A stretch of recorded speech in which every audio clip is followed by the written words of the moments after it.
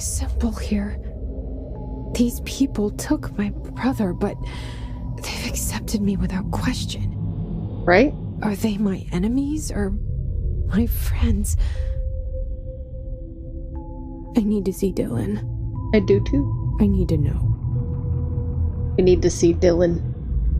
I wish you could tell me what you know, explain things. Just stay with me, okay?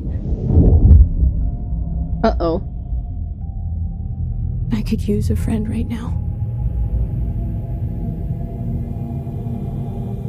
All.